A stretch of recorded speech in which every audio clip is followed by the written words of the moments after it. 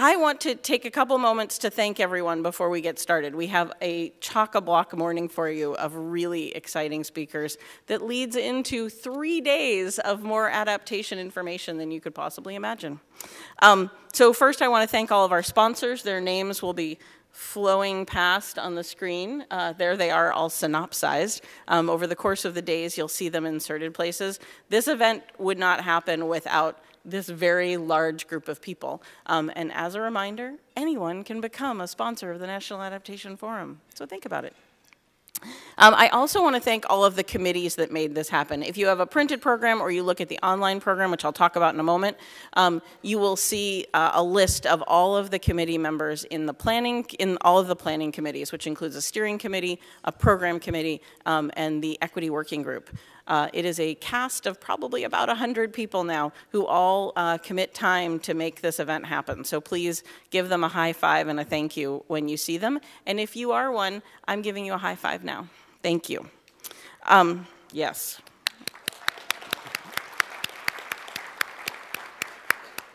I also want to thank the EcoAdapt team. Uh, we're an organization, we're a nonprofit organization of 13 people uh, who pulls off this event largely on the work of three people um, who are not even all in the room to be recognized at this moment uh, because many of them are up at the reception desk helping get people in. But I will point out Alex Score, who is in the back of the room, uh, mastering ceremonies today. Um, now I have the honor of kicking off our morning plenary. Um, the, we're going to start the day with a number of welcomes uh, to give you a sense of uh, where we are and what's going on and why having this event in Madison is such a special place to have it.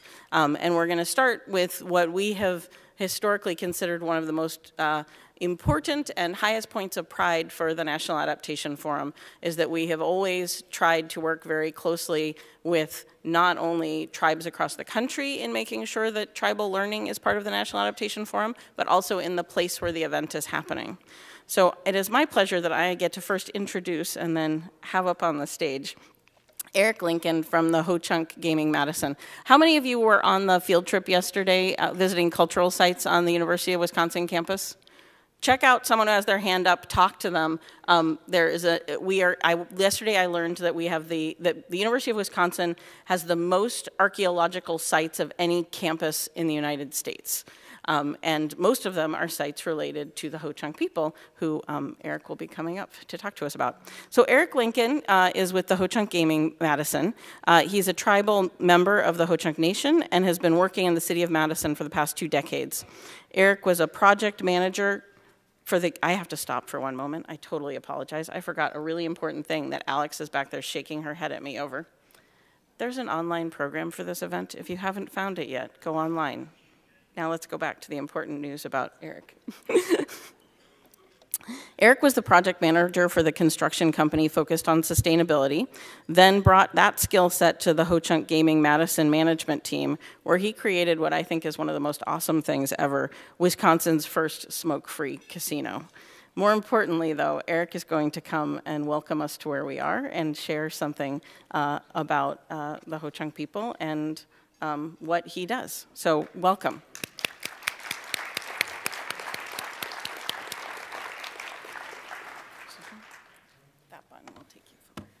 Thank you.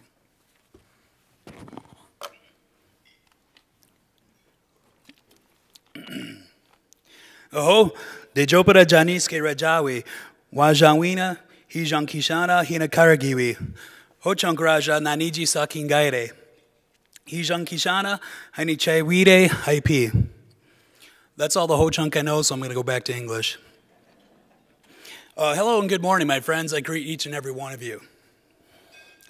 My name is Erik Lincoln. I'm glad to see you, all of you.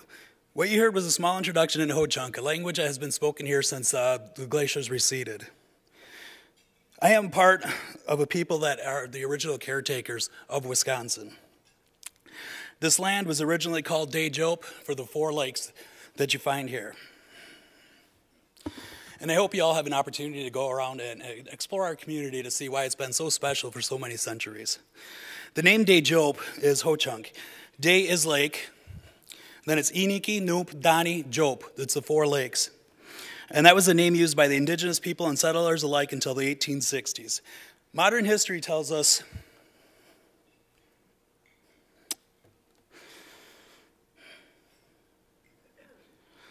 that is when the glaciers retreated, they created the kettles that became our lakes and rivers. And our ancestors moved in that area as the land became available. Our own stories tell us that the creator, after making Turtle Island, needed to take a break. Making lunch, making his soup, he was stirring the pot and spilled some of the soup out onto the land, and that is where we get our lakes from. Teejop was the center of the mound building culture, which is a unique architectural feature of North America. Our ancestors often built this upon bluffs, hills, or near springs, and it was aligned with the celestial bodies. These mounds were the first being built around 2,700 years ago. They were not recognized for their significance by the early colonizers and were used as fills from where the capital sits today.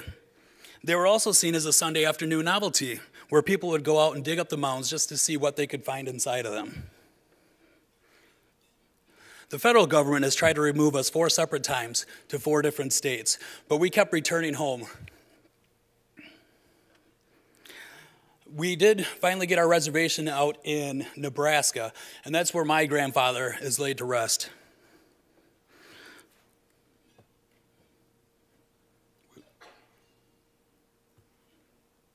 Around the turn of the century, the government started the mission and boarding schools.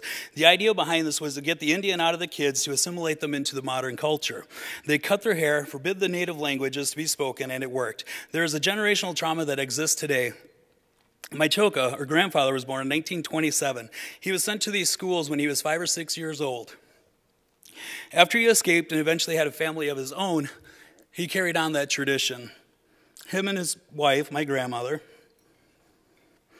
had listed their children as Protestants, Protestants in hopes of avoiding that same trauma.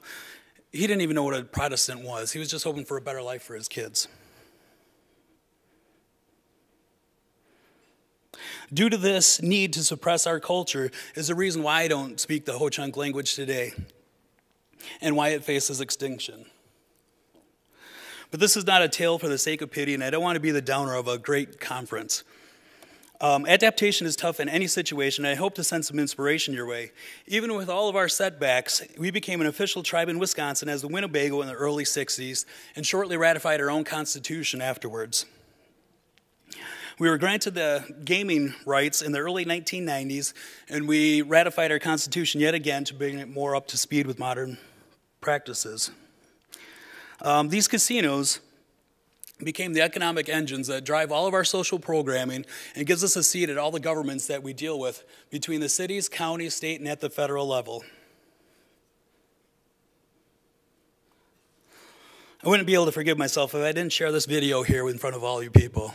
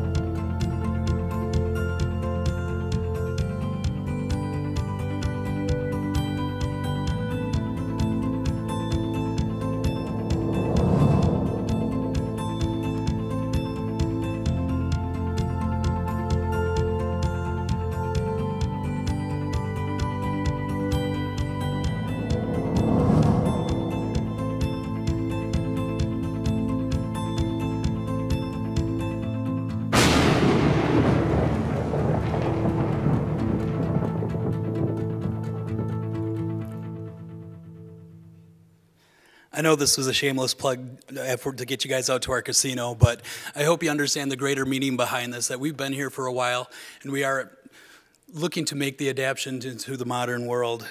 This is my story of adaptation, and I hope you guys can see the similar thread here. We're all looking to preserve all culture within the changing environments that we live in. So, what will your stories be? Pinigigi Naga. Thank you.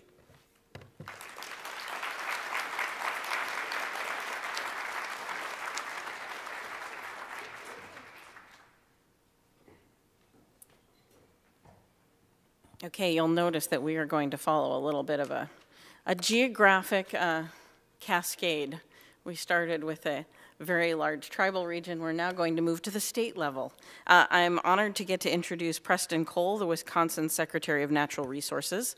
Secretary Cole has been a member of the Wisconsin Natural Resource Board since 2007, appointed by Governor Jim Doyle and then reappointed by Governor Scott Walker, which I think is a remarkable demonstration of the, the value of a person to a governmental agency. Um, he served as chair from 2013 to 2014, and he put an emphasis on making board meetings open to citizens to see online.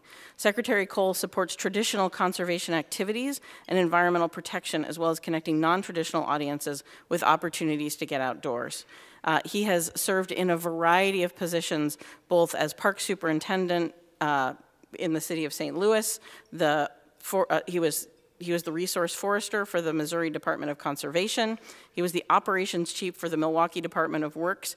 Uh, and most recently, Secretary Cole was the commissioner of the Milwaukee Department of Neighborhood Services. Secretary Cole, please come up and join us.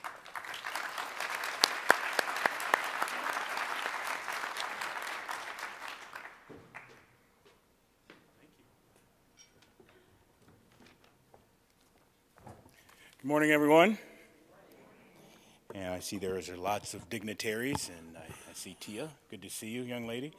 And you got to know Tia Nelson was figuring out how to change the world while she was yet in the womb. And thank you for all that hard work and legacy. Mayor, good to see you. Congratulations on your miraculous victory. It was a thrill to watch. Thank you. Again, there's a lot going on in Wisconsin. There's a lot yet to go on in Wisconsin. And on behalf of Governor Evers and Lieutenant Governor Mandela Barnes, I welcome you to the great state of Wisconsin and certainly to Madison. We couldn't do our work without you and organizations like yours. That said, um, if you haven't read, you, you may have read that the um, DNC, the Democratic National Committee, will be here hosting their annual meeting in July of 2020. So I invite all of you back. We don't know where we're going to put you all, but we will invite you back for what seems to be one of the biggest events in North American, certainly in Democratic history, in getting back to business in the upper Midwest. So stay tuned for that event. A lot going on with our sporting teams. You see the Milwaukee Bucks in the playoffs, a long time coming. You also see the Milwaukee Brewers in a hunt for a world championship. So these are the great things that are going on, along with Governor Evers' commitment to the year of freshwater science, to year, the year of drinking water and science. That said, that's an important consideration because while the DNC will be here, basketball teams are thriving, baseball teams are thriving, there's lots of communities in the state of Wisconsin that are in peril as it relates to drinking water. We've lost the notion of being able to turn on the water and get absolute, clean, fresh drinking water that we all need. From some of our legacy communities in Milwaukee to um, southeast Wisconsin, Racine, Beloit, to some of our farming communities are being challenged by nitrates in their drinking water. emerging contaminants in drinking water coming from PFAS, these legacy contaminants that found their way into the drinking water in places where it shouldn't be. So, again, while things are thriving, we have a commitment, this governor has a commitment to clean drinking water. We're throwing $83 million at infrastructure improvements, whether it's nitrate removals, whether it's lead lateral replacements in some of our older cities like Milwaukee, contaminated sediment in some of our lakes and river systems that supports our cities, towns, and villages. We have a lot of work to do, but for the commitment of the folks of the state of Wisconsin and folks like in this room, we can begin to have that conversation once again about climate change being the real deal. We've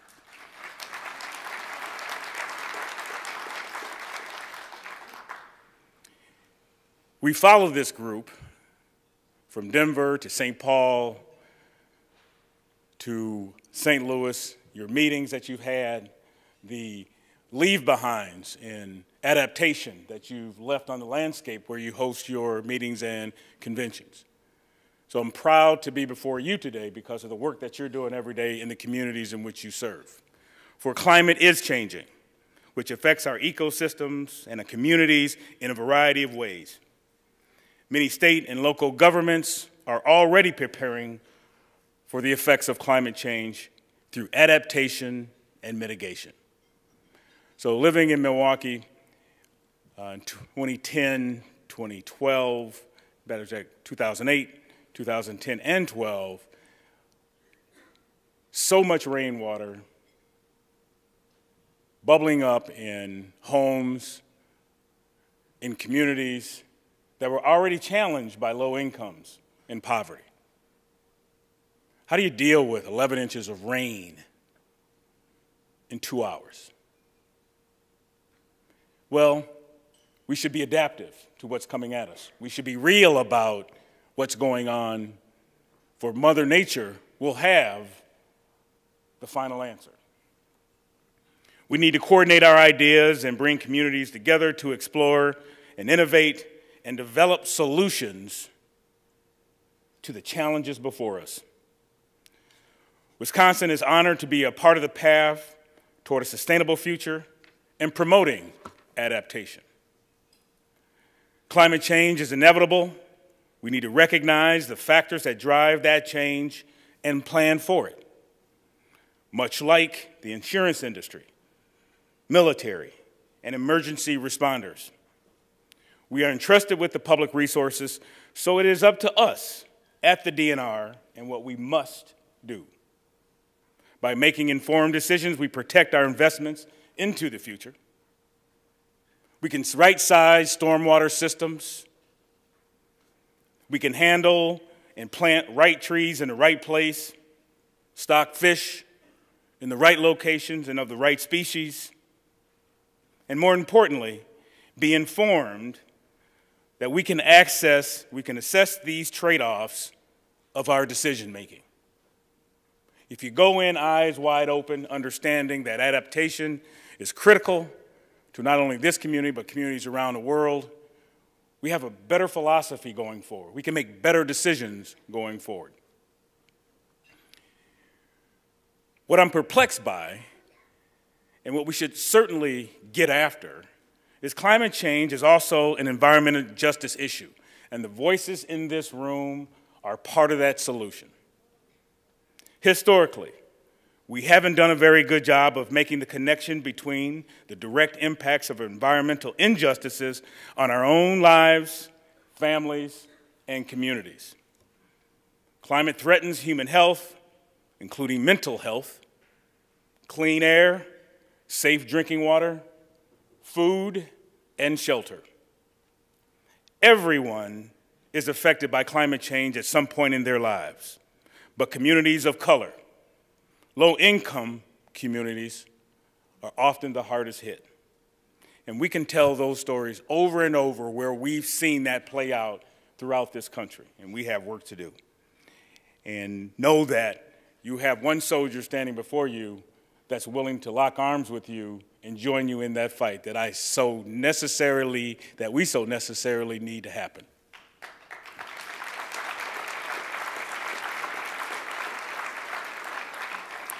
Quite frankly, some people are more affected than others because of the factors like where they live, their age, their income, their occupation.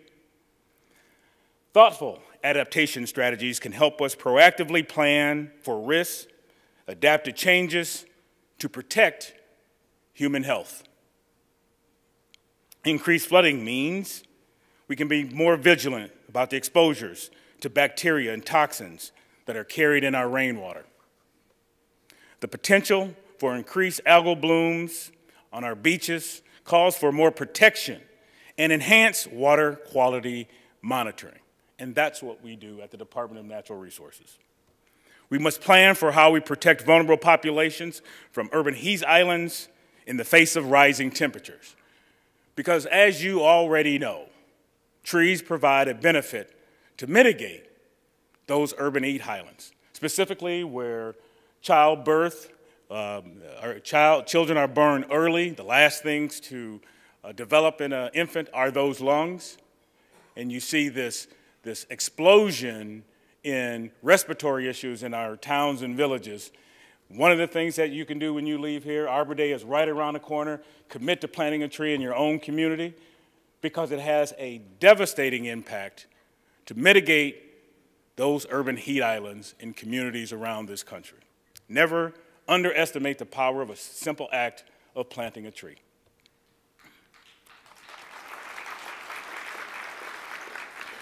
We are lucky to have the Wisconsin Initiatives on Climate Change Impacts, better known as WICCI, reflects the Wisconsin idea as well as Governor Evers' commitment to using science to inform our decision. WICCI brings the experience of experts in the DNR and other agencies together with the knowledge and the research of the university to help make decisions across our state. This approach provides knowledge and expertise without dictating what those actions shall be. In 2007, WICCI's network has included more than 80 partners from local, state, federal, tribal governments, universities, nonprofit organizations, and the business sector. WICCI ensures for the DNR that we're committed to work together with our state, agency, state agencies and our partners. Most of Wisconsin's tourism is driven by natural resources. 17 million people come to our state parks each and every year. As such, we need to be thinking about how climate could change those opportunities support the tourism industry, a $20 billion industry in the state of Wisconsin. Tell me who would make their way here if the water is tainted. Tell me who would make their way here if we don't have clean, fresh air. It's about who we are and the economy that we have in this great state that needs our protection. WICCI provides an opportunity for the DNR to work with businesses and business communities and we acknowledge those business leaders and innovators who are moving us towards cleaner energy. You, you have to read in any magazine you pick up that there's a, another coal plant that's going down and converting, that renewables are now in play like they've never been before. The time has come, folks. We're at the epicenter of a absolutely sea change in the message that you've been promoting from the inception of your organization. And I commend you for that and thank you.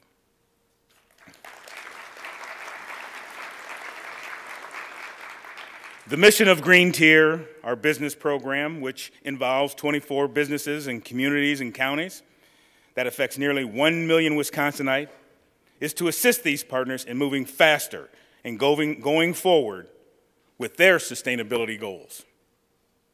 For the DNR doesn't have client scientists who do climate change research. We rely on the University of Wisconsin to provide the best available client, science to support our fish and wildlife biologists, stormwater engineers, lake and property managers, and certainly our permitting staff. Addressing climate change through adaptation and mitigation is our business and our partners that we work with to ensure that we pay very close attention to adaptation for it will help us make a more sustainable future. The Wisconsin Department of Natural Resources stands with the National Adaptation Forum and the work that you do across America every day, and we thank you.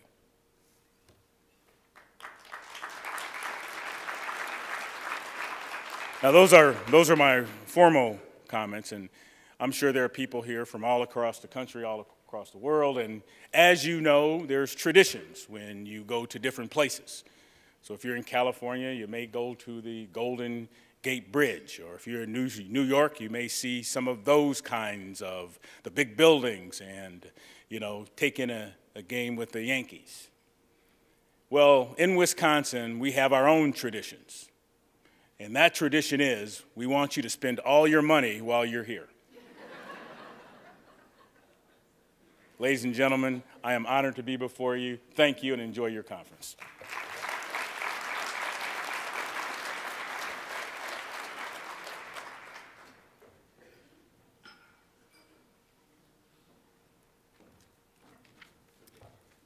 Okay, we continue in our geographic uh, education of the greater Madison region by moving to Dane County.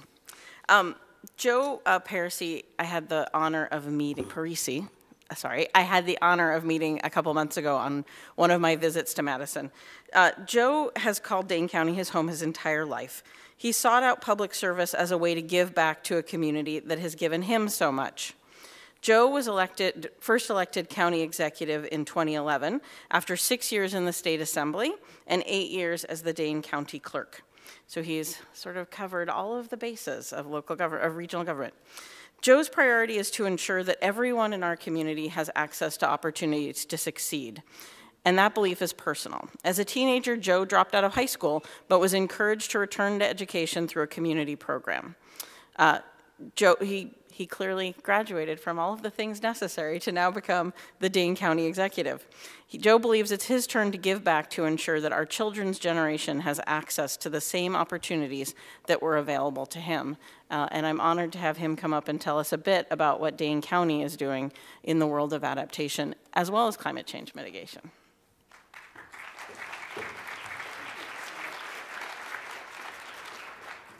Thank you. Good morning, everyone, and welcome to Dane County. Madison, you're in Dane County. That is, uh, Madison is one half of our population, so it's great to have you here.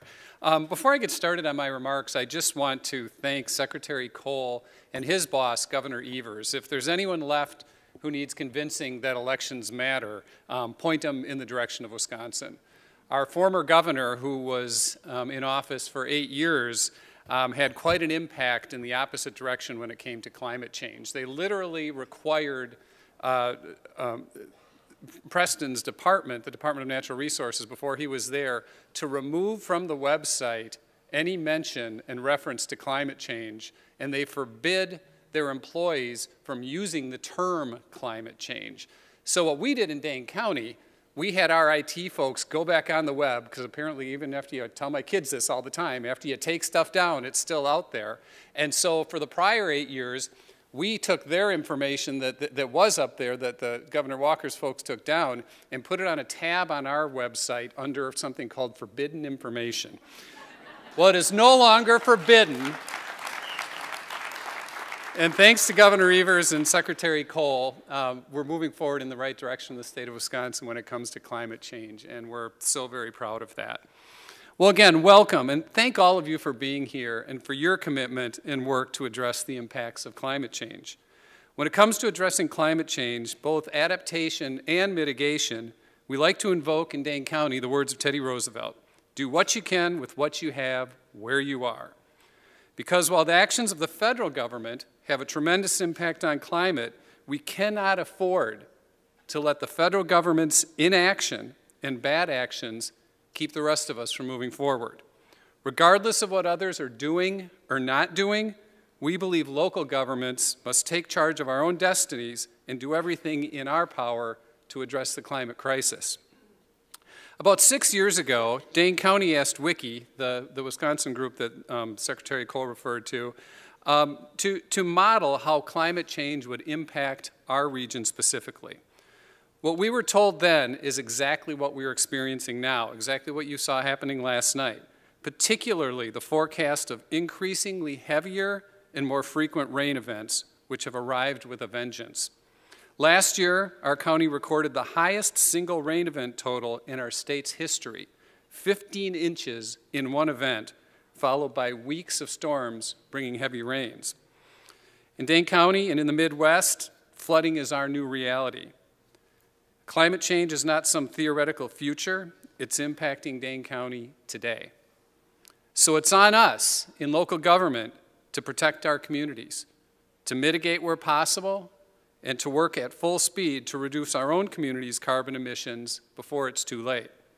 To that end, Dane County has invested tens of millions of dollars in mitigation and adaptation over the past several years.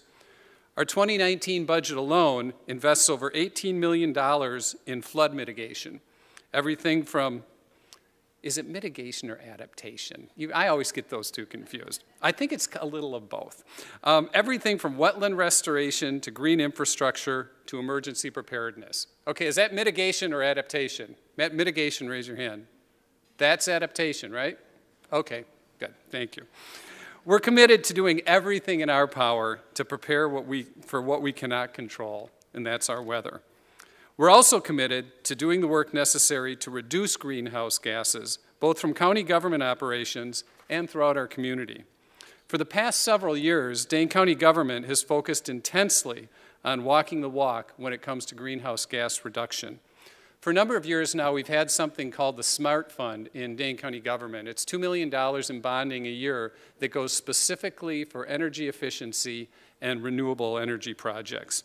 In addition to that, over the last few years, we've taken a survey of all the county government buildings and, and, and, and, looked at where we could best utilize renewables. And as we speak, we're, we're coming up on about 17 projects that we've done on separate buildings throughout um, Dane County government.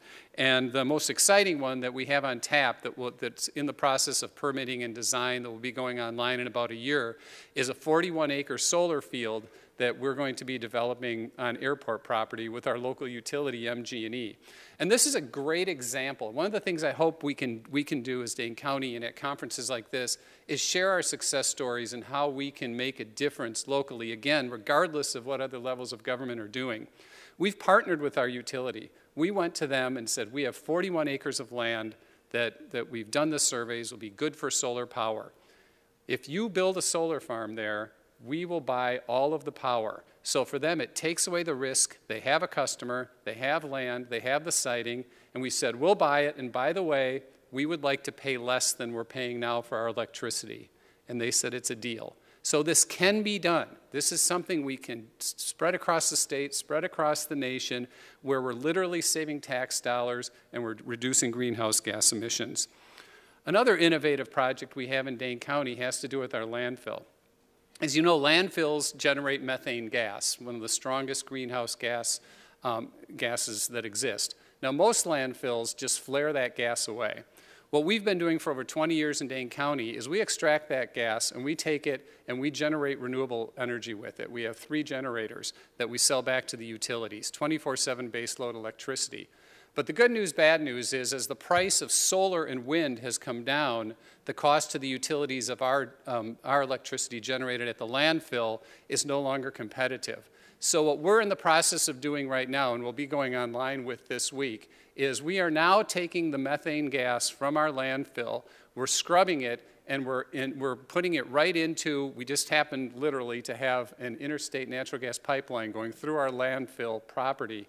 We're going to be putting it into that pipeline, and it's going to be compressed and used for vehicle fuel. And as you may know, bio-CNG is the cleanest vehicle fuel in existence. And so between what we're going to get paid um, for the gas itself and state and federal um, uh, energy, renewable energy credits, we are going to be bringing home millions of dollars in profit annually for Dane County while reducing greenhouse gas emissions. It's technology like this that we want to help export statewide and nationwide. There's so much potential when you look at projects, when you look from an art of the possible standpoint. In 2017, we created the Dane County Office of Energy and Climate Change, and the office's director, Keith Reopelle, is with me today. Um, so, as, long as we know now that in county government we're walking the walk, we want to go beyond county government. So Keith um, has, has convened a community-wide group with a mission to come up with a plan to achieve deep decarbonization. So this group can, um, is made up of local environmentalists, municipalities, utilities, the university, et cetera, looking at all the different areas where we can come from a project-based standpoint and perspective and pursue deep decarbonization. So their plan will be coming out later this year, and we're looking very much forward. So it's cool stuff, huh? Um, we're doing a lot in Dane County, and I share, share this with you not just to brag, um, although there's a little bit of that there, but to demonstrate that when we focus on how we can rather than why we can't, we own the power to make change. We own the power to change the world, and no one can take that from us. So thank you again for being here, for your commitment to this work. I hope the knowledge, the connections, and the ideas you gain at this conference will make you even more unstoppable as we work together toward the future that our children deserve. I wish you the best. Thank you. Would you like me to present this to you? And by the way, um, one of the things one gets to do as county executive is proclaim things. And I have a proclamation that I will not read because I wouldn't do that to you. But I would like to read the very last clause, okay? Um, be it proclaimed that the week of April 22nd through 28, 2019, and going forward, the last week in April, is proclaimed as Climate Change Adaptation Week, and that Dane County commits to working with all of the municipalities, businesses, residents, nonprofit organizations, educational institutions, and other interested stakeholders to maximize our county's mitigation of and adaptation to climate change. Thank you so much for being here. Thank you. And thank you for getting us back on time. He's the best county administrator ever because he also just got us back online on time. Um, our next uh, speaker, I haven't even gotten to meet yet because you've been off in office for five days. Five days. So I am very excited to welcome newly minted Mayor of Madison, Satya Rhodes Conway. And if I just mispronounced your first name, I apologize. She is the 58th Mayor of Madison. Uh, she has extensive experience in local policy and practice, having worked with mayors across the country for three terms in Madison's Common Council. Uh, she was elected in 2019. Literally two weeks ago was the election? the second this month um, and she is the city she's the city's second female mayor and the first out lgbtq person to serve as the mayor of madison we are very honored to have you join us today uh, come on up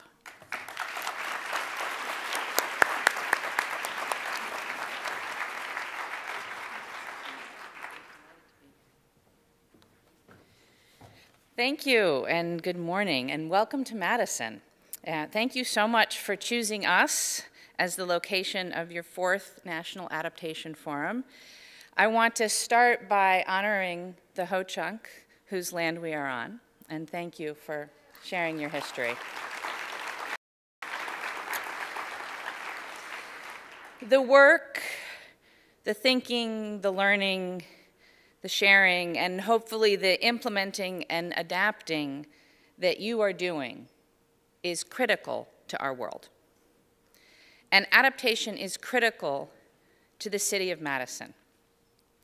As County Executive Parisi alluded to, last August, the Madison area experienced a thousand year rain event, which resulted in severe flooding and tragic loss of life.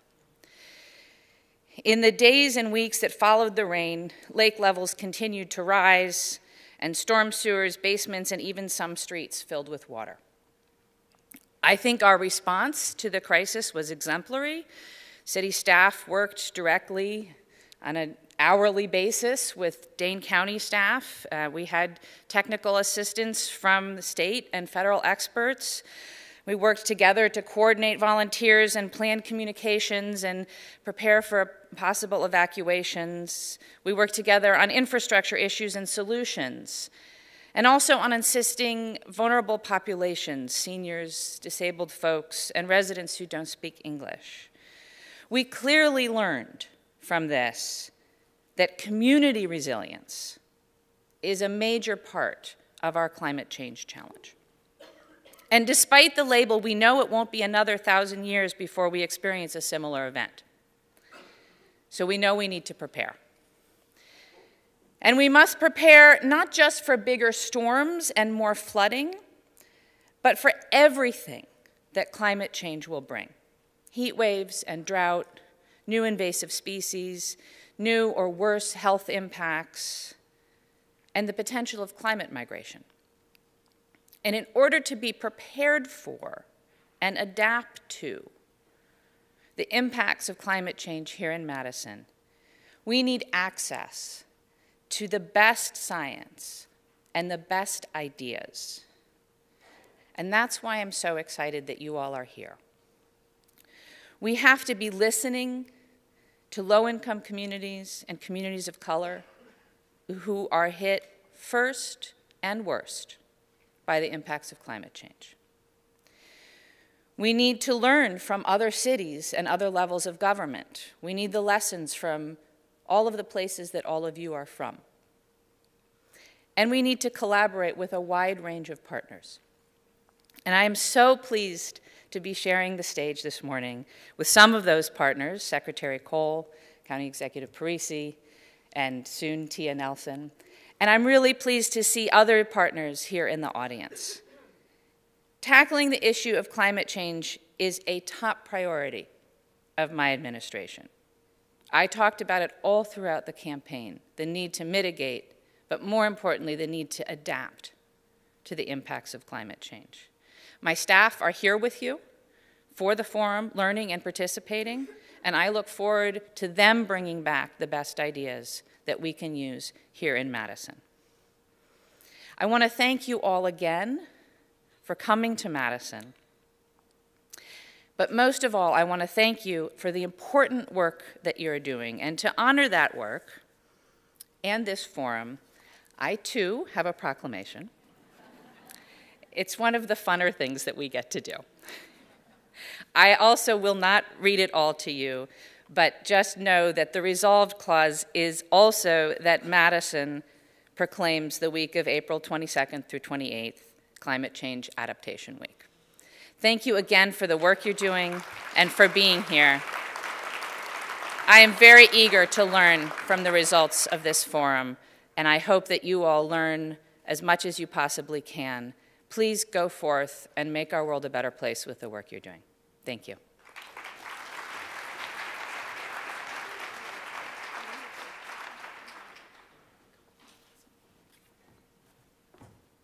I'm extremely excited to say that that was her first proclamation.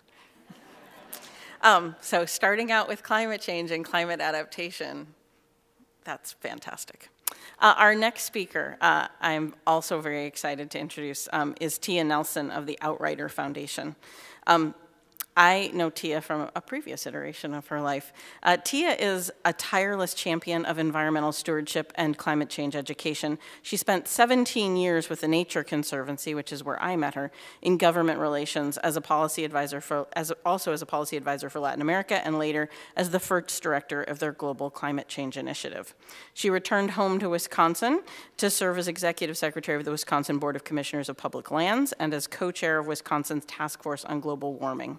She directs the Outrider Foundation's climate program, uh, and she's going to share a little bit with us about that work as well as yesterday's happenings.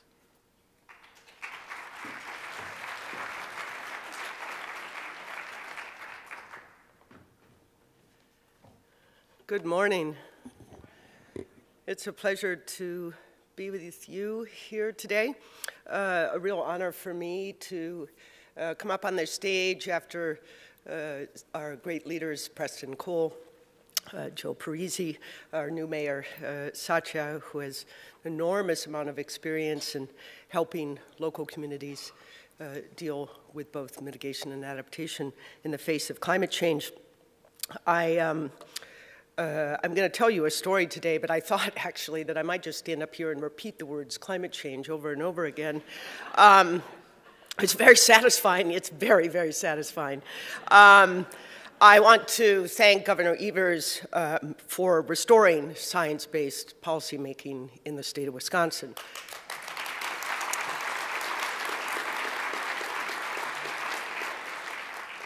and making it possible, like uh, for public servants, which I used to be, uh, to actually speak the words uh, climate change and do their job. Um, I consider myself the luckiest child uh, in the world being born Gaylord Nelson's daughter, the founder of Earth Day. You know, don't think it hasn't occurred to me. I could have been born Richard Nixon's daughter, right? It's like winning the lottery. Uh, but it's not quite as funny as you might imagine, as you'll see in just a moment. I'm going to show you a couple of slides. Um, Richard Nixon was a great environmental president. Um, and uh, that uh, is uh, surprising to many, um, but quite true. And I'll, I'll, tell you that story in a moment. Um, because really, I'm just here to tell you a brief story, the most important part of which uh, relates back to how Preston uh, closed his remarks to you, uh, imploring you never to underestimate the power of an individual act, like planting a tree, um, planting an idea. Uh, and I just want to encourage you to not underestimate uh, your power. And I'm going to do that by telling you the story of a little boy from a little town in northwestern Wisconsin. He had a really big dream, and that dream came true. It started in this car. That is my grandmother and my grandfather. They were a doctor and nurse in Clear Lake, Wisconsin. Uh, that's a Ford Roadster? Is that what it says?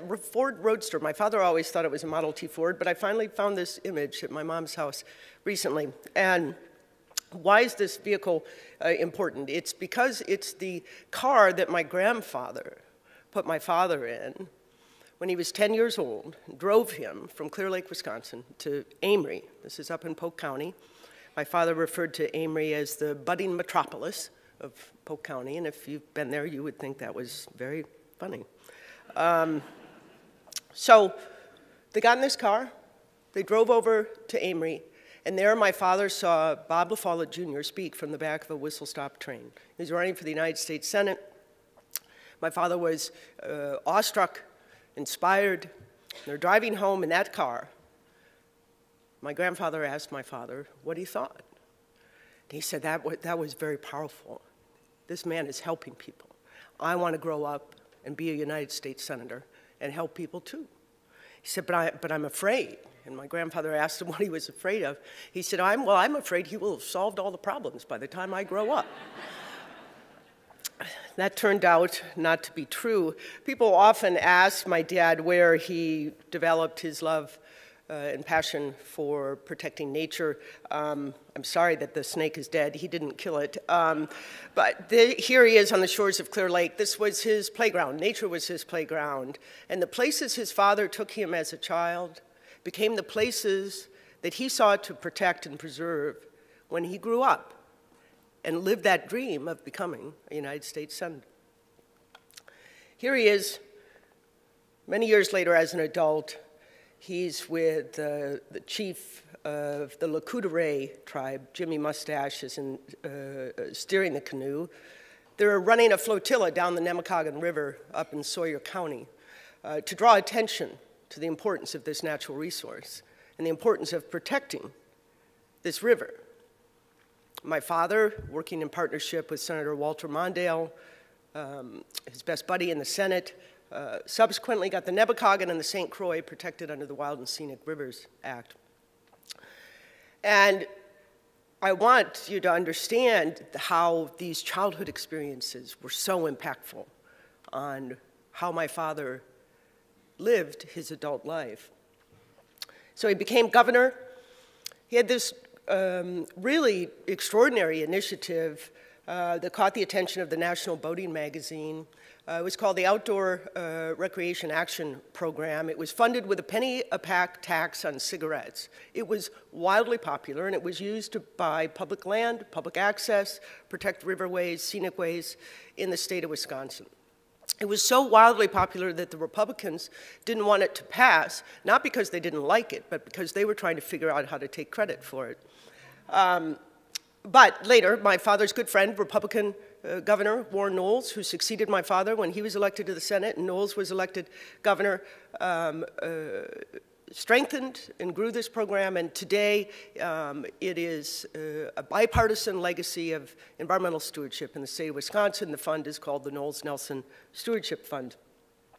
My father went off to Washington as a senator with the success of uh, being the conservation governor. Um, this letter, uh, you probably can't read, and I can't read it from here either, but I can tell you what it says. Uh, it's a letter from President Kennedy to my father saying that he's heard through Arthur Schlesinger that my father has some ideas uh, to in, uh, talk about conservation in America. And uh, the president is inviting my father to share those ideas with him.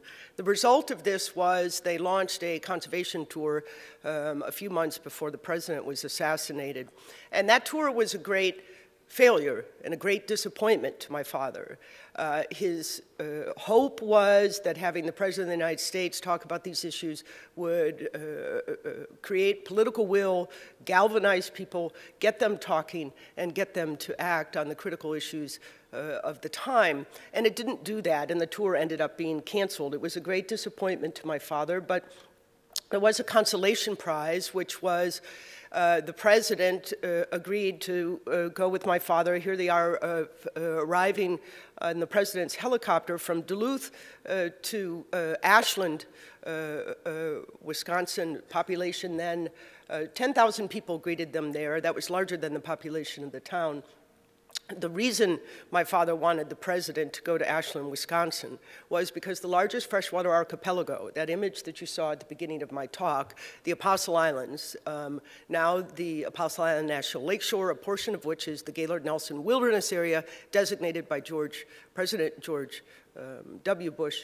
Um, so the consolation prize was that the president agreed to go uh, tour the Apostle Islands. And for the next seven years, my father worked to get those islands uh, protected by uh, federal law. It was a long, difficult journey. I think uh, Bud Jordahl, who helped draft the legislation, said they'd been through 12, 15 uh, drafts. It took over seven years. Um, but it is um, his perseverance in pursuit of his values that um, made him so successful. His persistence in pursuit of his values in spite of the defeats that he experienced along the way. So it was seven years after that failed conservation tour with President Kennedy that my father got on a plane and flew to uh, Santa Barbara, California to inspect the largest oil spill in the history of America at the time.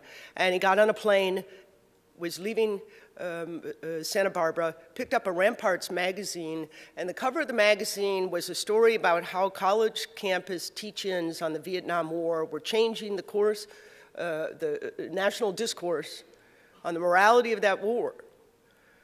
And that's where he had the idea to call for an environmental teach-in. The original, he, uh, the words Earth Day came much later from a New York PR firm, I think. Um, he called it Environmental Teach-In Day. Not so sexy, but got to the point. It's a very simple idea, sort of strangely simple. All he did was ask all the teachers in America, in all the college campuses, in all the public K through 12 schools, to set aside a day and teach about the environment. He didn't tell them what they should teach uh, about. He thought it was important that each community think about this in their own way, think about what issues they were dealing with, what challenges they were dealing with, what issues were important to them. And it was successful beyond his wildest dreams. 20 million people gathered on that day, the largest secular event in the history of this country. Thank you.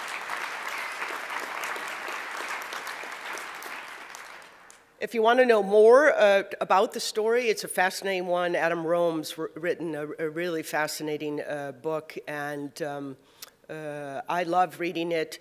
Uh, uh, his, Adam's sort of thesis of the book is the genius of Earth Day was that my father encouraged people to think about what was important to them and to act in their local communities in a way that was based on their own value proposition. And that in giving up control of uh, what was supposed to happen, it prospered and flourished in a way it wouldn't have had he tried to prescribe what the agenda was, besides to set aside a day and have that conversation. So I told you, Richard Nixon wasn't, wasn't so bad on the environment uh, anyway. Uh, so he, I like to remind people the, Nas the Environmental Protection Agency was uh, signed into law by the president. Um, uh, here's a uh, quote um, uh, that uh, he spoke. I, the act I have signed gives us uh, adequate organization and a good statement of direction. We are determined that the decade of the 70s will be known as the time when this country regained a productive harmony between man and nature. The Republican President of the United States. Here are some of the, just some of the laws that were enacted, and um, one of them occurred before Earth Day, but the rest on that list uh, occurred in the first uh, year or two. Um, NOAA was created, EPA was created, the Clean Air Act was extended. There wasn't a single no vote in the United States Senate against the extension of the Clean Air Act in 1970. Not a single no vote. So I'm going to close by showing you a very brief clip of my father speaking on the eve of the first Earth Day. There's a very important message uh, for all of us in it, um, and I will speak to that once we've heard. It's tremendously encouraging to see all across this country the uh, remarkable interest on the campuses and off the campuses on an issue which is uh, not only uh, just an issue of survival, but an issue of how we survive. I don't think there's any other issue viewed in its broadest sense, which is as critical to mankind as the issue of the quality of the environment in which we live. You hear the word ecology, that's a big science, not a narrow one. It's a big concept. And it is concerned with all the ramifications of all the relationships of all living creatures to each other and their environment. It is concerned with the total ecosystem, not just how we dispose of uh, tin cans, bottles, and our garbage. It is concerned with the habitat of marine creatures, animals, birds, and man. And our goal is not just an environment of clean air and water and scenic beauty while forgetting about the worst environments in America, in the ghettos, in Appalachians, and elsewhere. Our goal is an environment of decency, quality, and mutual respect for all human beings and all other living, living creatures. An environment without ugliness, without ghettos, without poverty, without discrimination, without hunger, and without war. Our goal is a decent environment in its broadest and deepest sense. And winning the environmental war is a whole lot tougher battle challenge by far than any other challenge ever to confront mankind.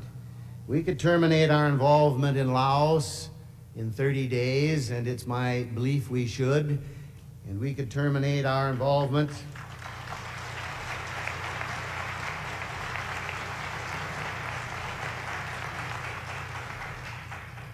and we could terminate our involvement in the killings in Vietnam in 120 days, and I think we should.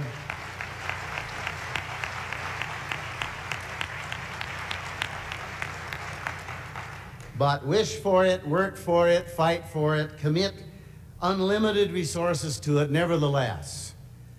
The battle to restore a proper relationship between man and his environment, between man and other living creatures, will require a long, sustained political, moral, ethical, and financial commitment far beyond any commitment ever made by any society in the history of man. Are we able? Yes. Are we willing? That's the unanswered question. Thank you. So,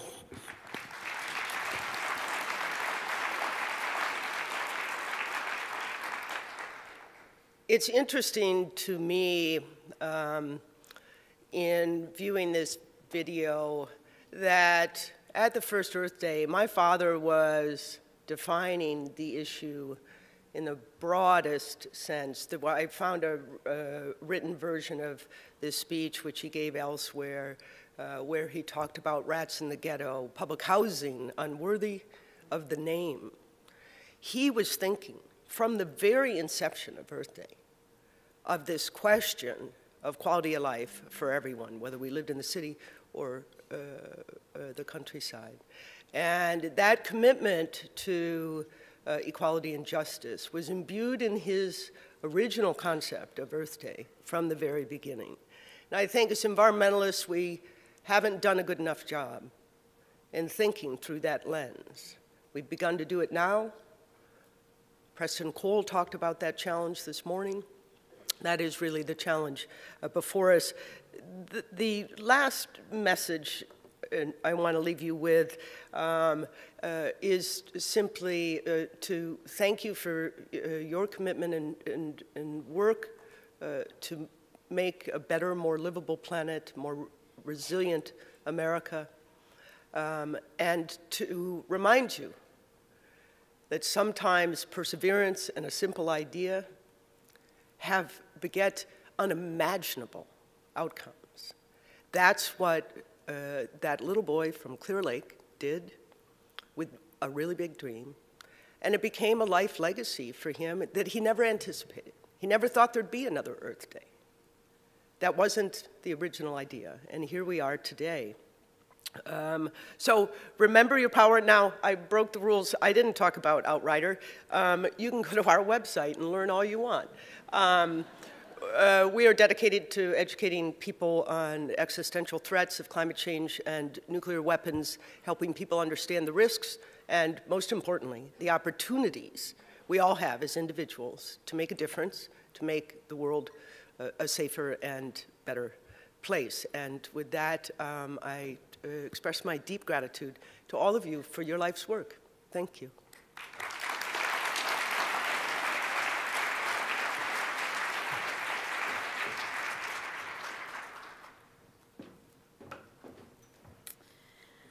Um, at the first National Adaptation Forum, uh, we had a full demonstration of what a community event this is. Not only is there that very long list of people who are part of all of the committees, you'll meet a few more of those in a moment, um, but uh, there's also just everything that all of you bring to the event and make it. Uh, in Denver, there was a participant from Alaska. If that person is here, they should stand up and take credit for this as I talk about it. Um, who came up to me, uh, I believe on the third day of the forum, about an hour and a half before the closing plenary, and said, I feel really guilty having traveled this far to come to something so amazing and having burnt carbon to do it. What can we do about that? And I was we had an hour and a half. I said, I don't know what we could do about that. Someone else on my team said, we could give money to the bike share program here in Denver so that we could decrease carbon emissions in Denver. And we took up a contribution at the closing plenary, like literally buckets by the doors as people left. It was announced in the closing plenary by that person. Is that person here from Alaska? Okay. Um, she's i have to find out what her name is so that we can actually formally thank her. So every forum since then we have gone out and found a local project that does adaptation locally uh, that uh, we can support. And we refer to it as our travel guilt offset program. Uh, so this year we we repeated this trend. Um, you're about to meet the Travel Guilt Offset Program representatives, but I want to remind you as you're listening to this that you can still make a donation either online through the forum website or come up to the registration booth if you'd just like to hand over cash to alleviate your guilt. Um, this year, the project that we uh, identified and picked from all the incredible things that are going on in the greater Madison area, and yesterday there was a field trip there, was the Center for Resilient Cities um, Badger Rock Center. Uh, and did anyone go on that field trip yesterday? A few folks. Um, uh, the representatives we have today who are going to share something about that with us are Marcia Canton Campbell and Sarah Karlson. Are you guys here? You're over there. Come on up.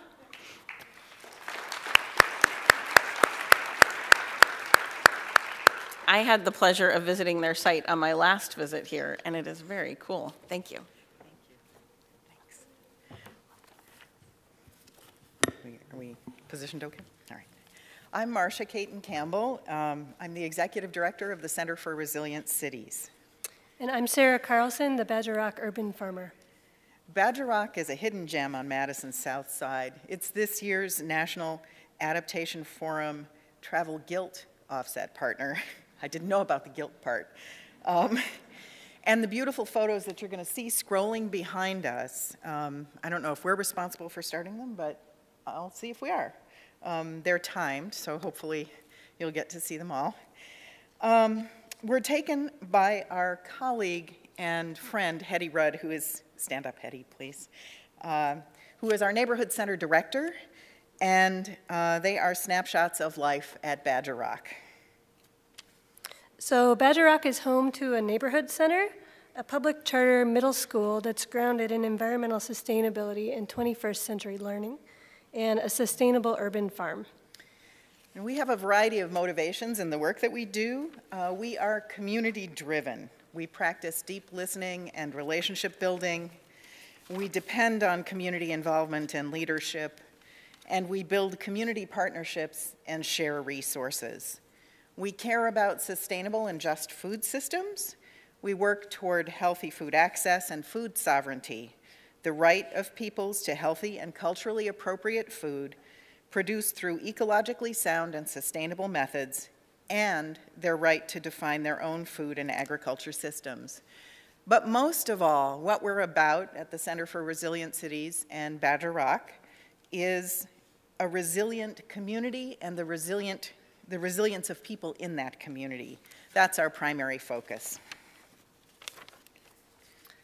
So, at Badger Rock Middle School, we teach um, students in grades six through eight, and we teach about social, economic, and environmental sustainability and resilience, social justice, and urban agriculture, food systems, and ecological systems through project based hands on active learning. Our focus is on student voice and choice, design and inquiry, community engagement and authentic experiences, social emotional, emotional learning, and restorative justice. Um, Badger Rock's middle school's garden class, which I teach, uh, blends growing food year round, culinary arts and life skills, science, math, art, and environmental studies, food justice, and cultivates future food systems leaders. At the Badger Rock Neighborhood Center, we offer community driven programming and events, monthly community meals in partnership with Badger Rock Middle School, community gardens and culinary classes, a pop up cooperative community market and farm stand, kitchen space, which is rentable by, for micro businesses, several of which have launched into larger food enterprises, a polling place, and uh, many community par- partnerships focused on health, wellness, and connection.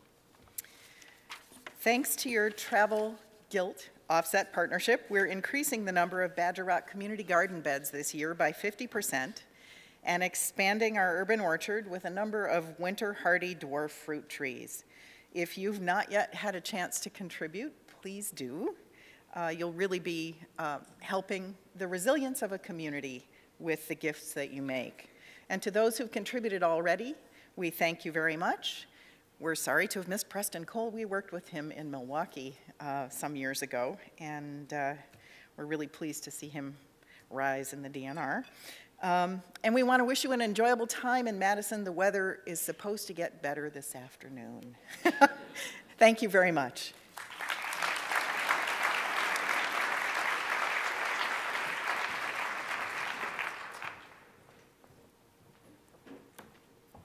Thank you very much. It becomes more and more formal every year, the whole process with the travel guilt offset. Um, I don't think we've, uh, we've consistently had people actually come to present. Um, next up on the agenda is a little bit of a surprise. Um, I will advance this. A lot of people in this room know Robin O'Malley. Uh, Robin is currently the director of the Department of the Interior North Central Climate Adaptation Science Center, an entity that I think keeps adding words to its name.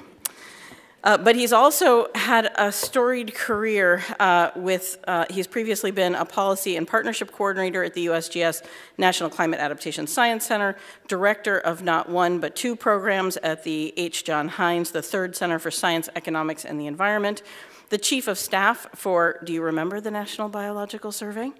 Uh, the science assistant to the Interior Secretary Bruce Babbitt, Deputy Science Advisor to the Interior Department, Associate Director for, the Natural, Resource, for Natural Resources at the White House Council on Environmental Quality. Uh, do we have a CEQ anymore? Uh, and Senior Environmental Advisor for Governor Kean of New Jersey. Throughout all of that, uh, one of the things that has stood out in people's engagement with Robin is that he's always been a champion of earlier, early career professionals and women of all ages. When we heard that Robin was retiring from this illustrious career in adaptation, we thought two things. One, we weren't aware that was something a person could do. Thank you, Lin-Manuel Miranda. And two, how can we show our appreciation for his work championing adaptation in science and policy uh, uh around adaptation? Um, with the forum, we realized we had an opportunity that we did not want to miss. We are very pleased to uh, award the inaugural Margaret A. Davidson Adaptation Career Excellence, or MAD ACE Award, to Robin O'Malley. Robin, could you please come up?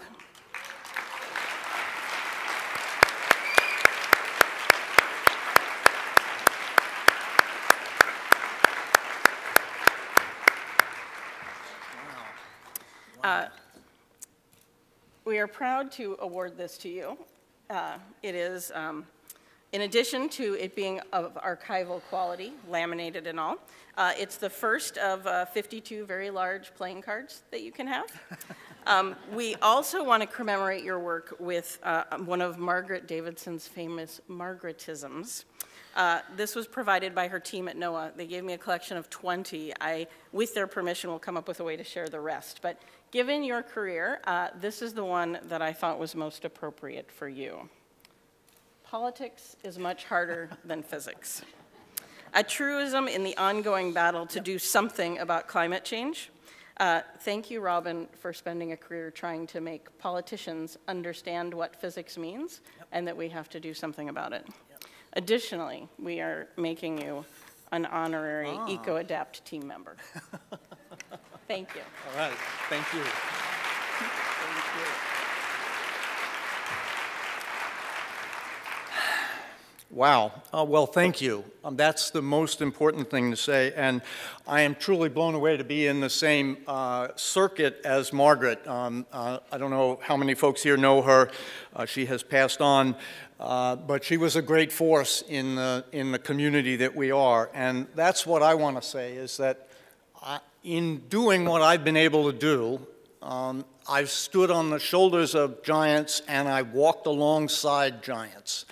And Margaret is one of them, and a lot of folks in this room are also in that category. Um, so I really feel like I've benefited from an enormous community of support um, and, and, contribution to our work.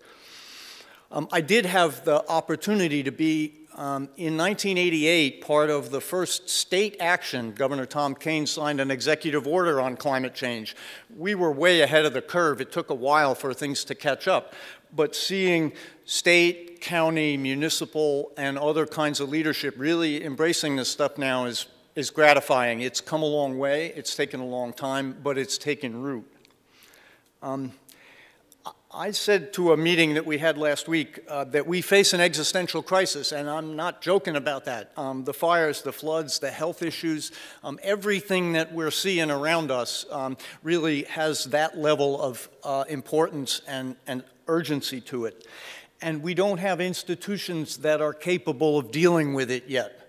Um, and I, I want to make this a couple statements that are not intended at all to be in the current political realm, and I'm not joking about that. But just for example, we don't have institutions that are capable of handling the kind of migration that's going to happen. Look what's happening. Forget about the southern border in the U.S. Look what's happening in Africa, um, and it's only beginning to start. When the when the pressure really amps up, um, there's going to be a lot of people on the move, and we're just not capable of handling that yet. So we need to build institutions.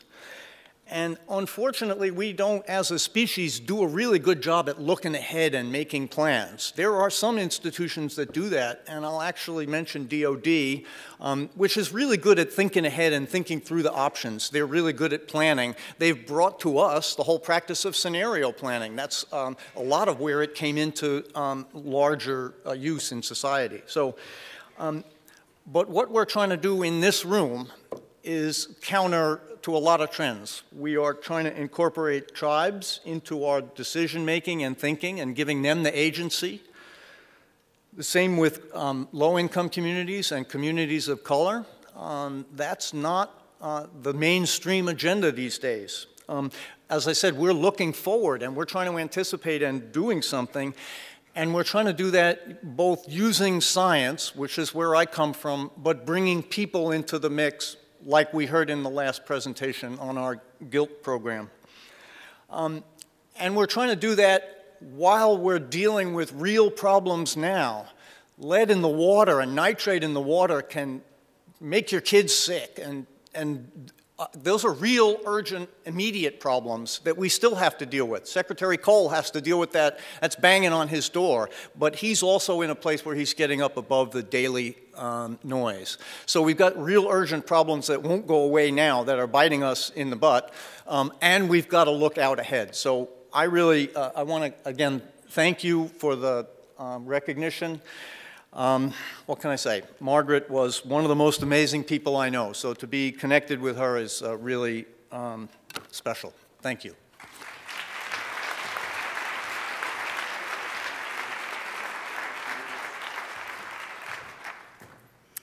Okay, I promised earlier you would get to meet some more of the committee members. Um, two of our committee co-chairs uh, will be for doing our next presentation.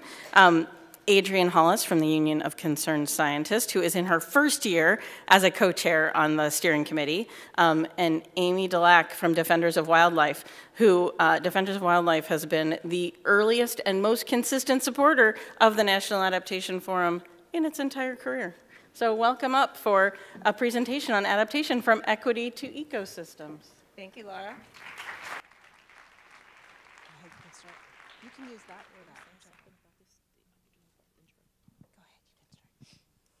morning. Go ahead. Good morning. Good morning. There we go. That's the professor in me, sorry.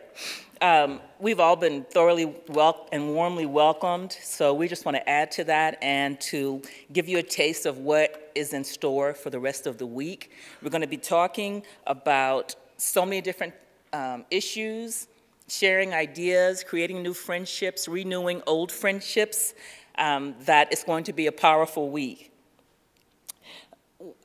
this late, late last year, we were the recipients of two very important reports, one from the IPCC and one for, from the National Climate Assessment 4. The bottom line from both of those reports is that deadly wildfires, increasingly debilitating hurricane and heat waves um, are already battering the United States and if, if I may add a caveat to what our last speaker said, we've been facing existential threats for a long time, especially in the environmental justice communities. And it's, you can't talk about this conference without talking about equity. And I'm glad that it's a big part of the conference here. Um, as reiterated in the NAACP document prepared by Jacqui Patterson, the Senior Director of Environment and Cli Climate Justice, um, in the document entitled Fossil Fuel Foolery, released on April 1st, appropriately. For those of you who haven't read it, I recommend that you do. It reiterates that low income communities and nations in the global south are feeling the extreme impacts of climate change, first and worst.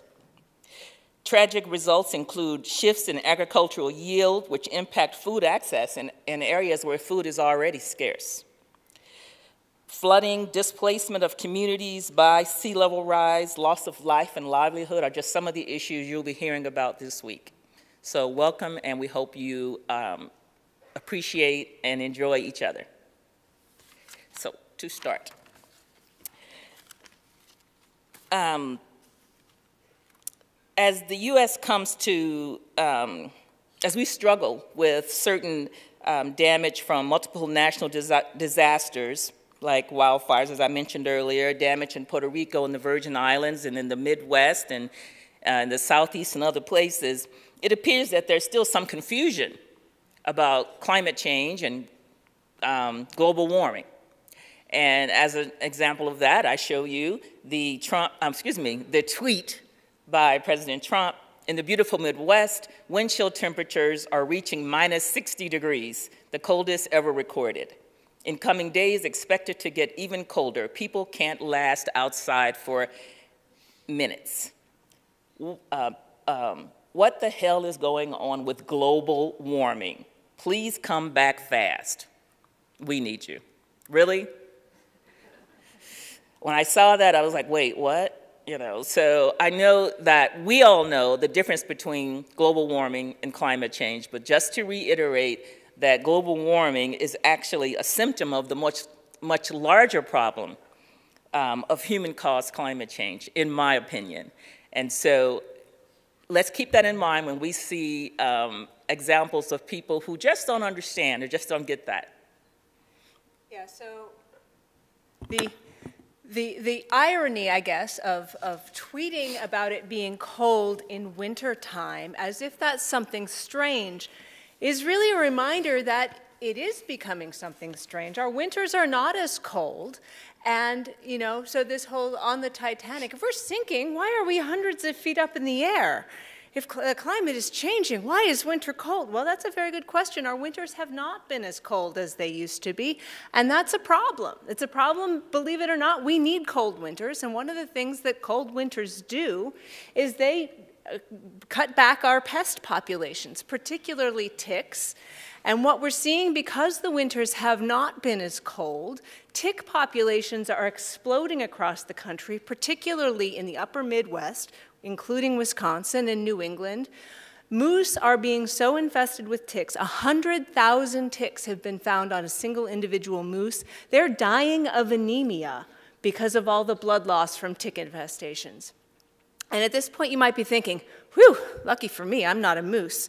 Well, I have news.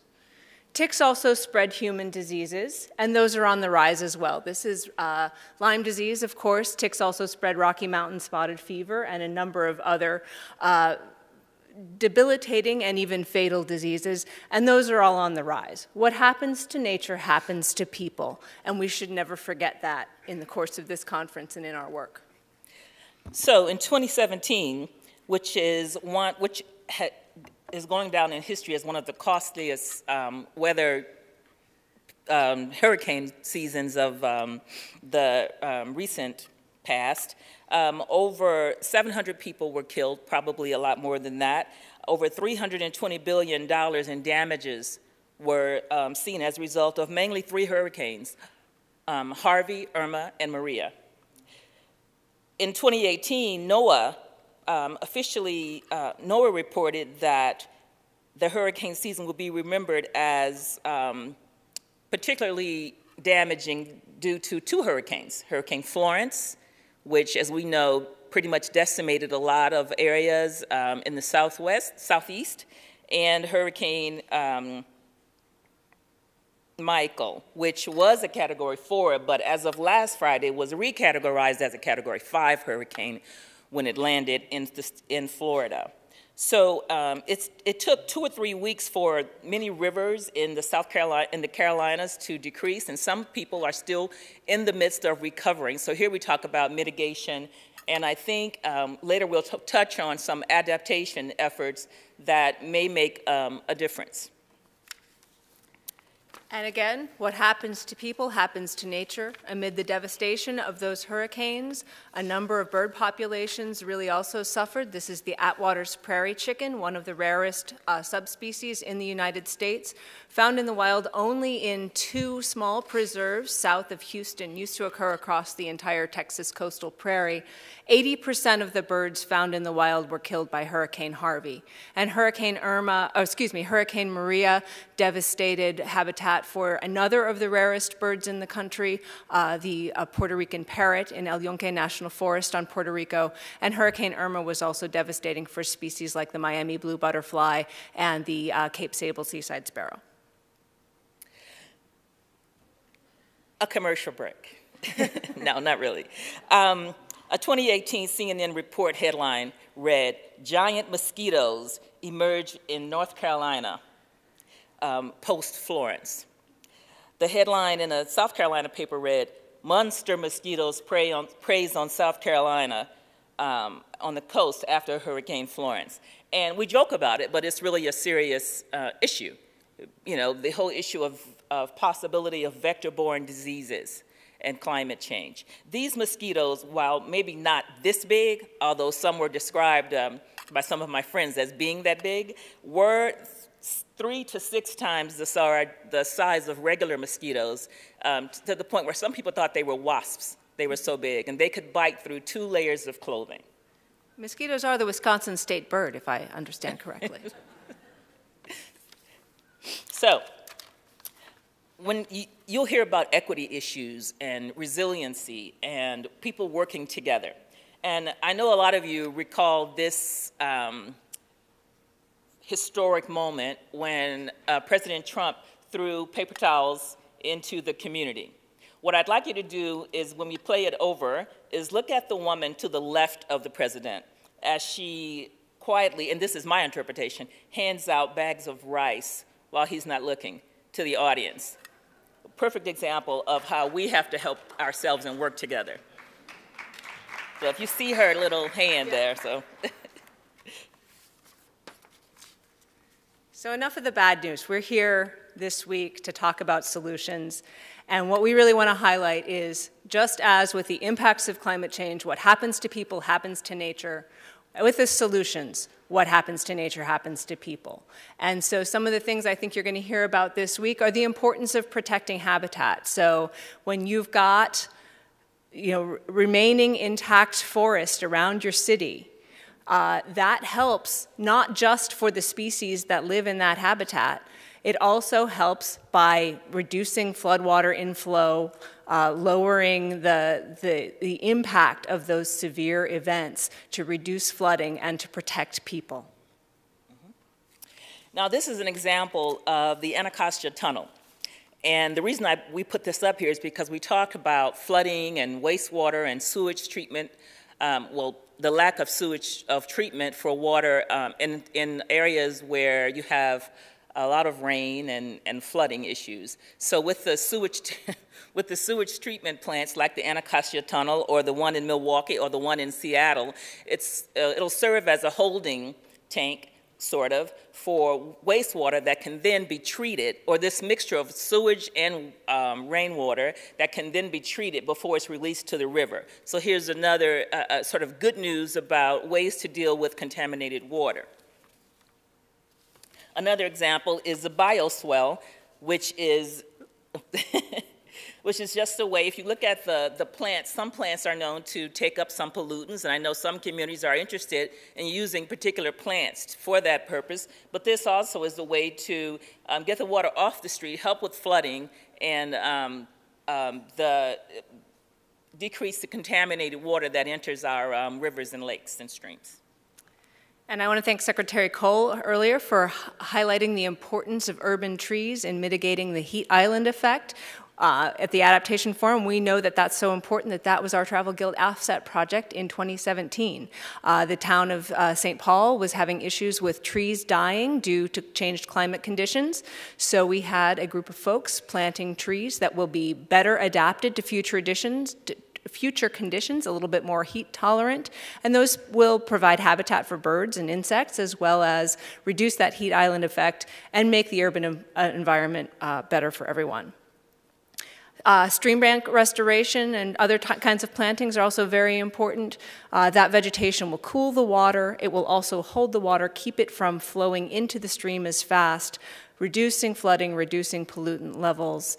Again, what's good for nature is good for people as well. And just one last uh, thought from me is when we think about ecology, we think about economy. That word root both comes from the Greek oikos, it means home. We've only got one home, and let's work this week to protect it. And what we do know is that we must be the change that we seek. We need to work together, and we hope that this week will be the start of, as I mentioned earlier, new partnerships. We hope you leave here engaged and ready to continue to fight against climate change. Thank you. Okay, so I guess now we take these out into the audience.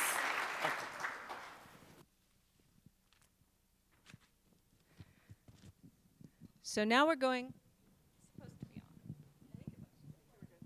Oh, it's on? Okay.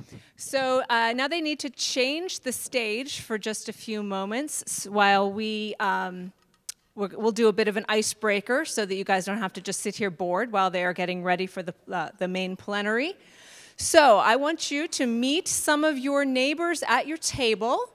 I know it's the discussion time, introverts. I know, I know.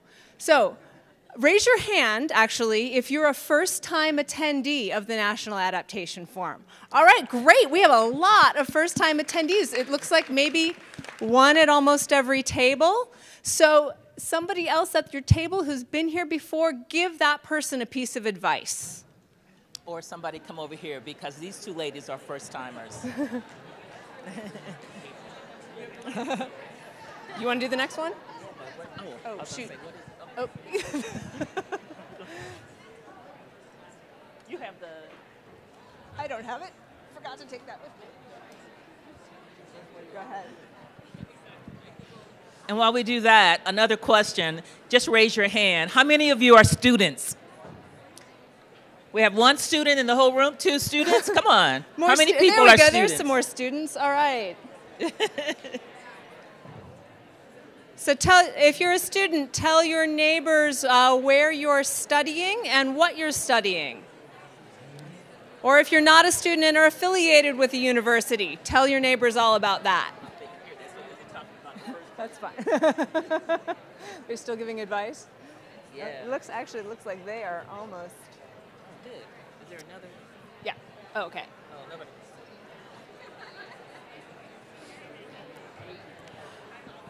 Okay. How many people are repeat offenders who've been to every single forum? Outstanding. All right. Tell your neighbors the most interesting thing you've learned in eight years of going to national adaptation forums. Or if you've been to fewer, share that too. I'm going to ask one person to say it out loud. Okay, sure. And while you do that, we're going to get one person to tell everybody what they've learned.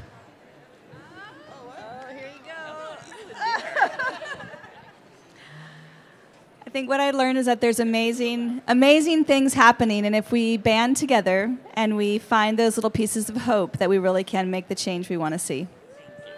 That was a good one. Very good. Thank you. Maybe we can get one more. So she was going to pass it to you. Wait, just stuff we're talking about? What we learned from about four what you years? learned, but say it louder. I learned that you can meet some of your best friends by working together on issues that affect all of us. So the silver lining is you get to meet wonderful people. Very good. Two great topics. Do that one. Thank you. You want to do that one? Where? Okay, how many of you attended the field trip yesterday? I didn't. My plane was late. Anybody else? You were there? That's right, because you were wet. I know.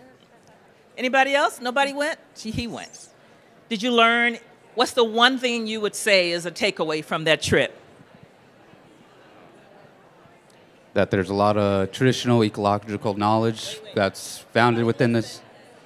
there's a lot of traditional ecological knowledge within the campus for uh, the indigenous people here of the Ho Chunk Nation. So it's a really nice, knowledgeable tour to yesterday.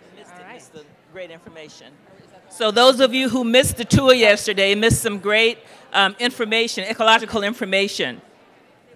All right, and we are just about ready for the plenary, but we want to leave everyone with one more icebreaker question to maybe just think about and talk after the plenary. How is climate change emotionally affecting you? And what is your wicked question?